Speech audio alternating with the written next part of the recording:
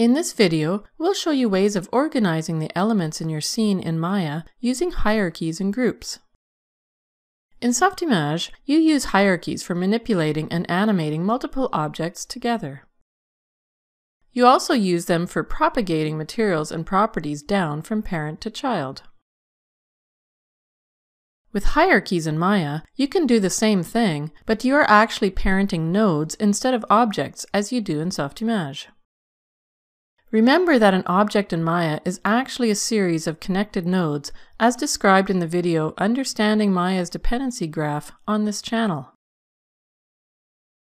To create a hierarchy, press Shift and first select the children, as we'll do with these book parts. Then select the parent last. And choose Edit Parent, or press the P key, or click the parent icon in the General shelf. You can also select the children, then middle click and drag them onto the desired parent node in the outliner.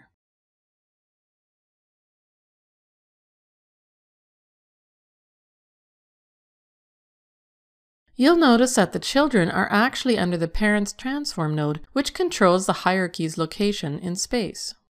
The parent's shape node affects only the parent's geometry, but not the children's. To unparent the children, middle-click and drag them out from under the parent node into a neutral space in the outliner. Or select the children you want to unparent and choose Edit Unparent, or press Shift plus P, or click the Unparent icon in the General shelf. Selection in hierarchies is a bit different in Maya as there is nothing like branch selection in Softimage. For details on selection and hierarchies, see the video Selecting Objects in Maya on this channel. When you transform a parent, the children come along for the ride, the same as in Softimage. You can still transform the child on its own, and you can use the Preserve Child Transform option to transform the parent without affecting its children.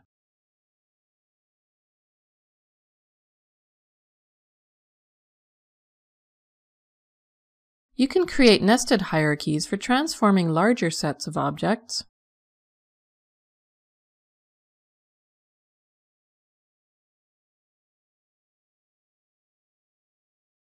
But as you can see, we can't open just the front cover anymore without affecting the whole hierarchy. This is where groups become useful for transforming hierarchies.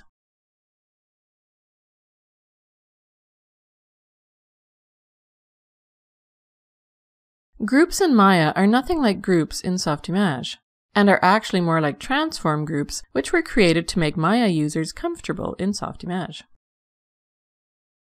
Groups are like hierarchies except that the parent is an empty transform node, a bit like a null parent object you would use in Softimage. We'll unnest this hierarchy that we created and create a group with these nodes instead. Multi-select the objects you want and choose Edit Group, or press Ctrl plus G, or click the group icon in the General shelf, and give the new group a name. To add more objects to a group, you can middle-click and drag them in the outliner as you do for a hierarchy. When you create a new group, its pivot is at the scene's origin by default. But if you choose Modify Center Pivot, it moves to the volumetric center of the object in the group.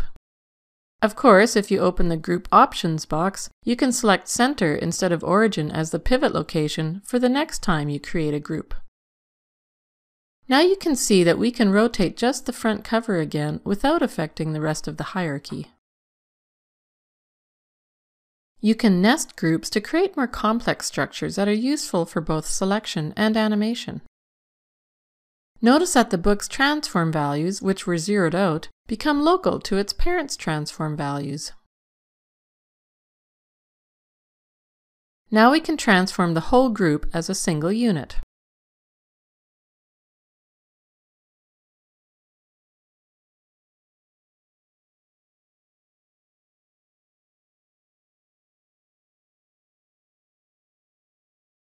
To ungroup specific nodes, just middle-click and drag them into a neutral area of the outliner.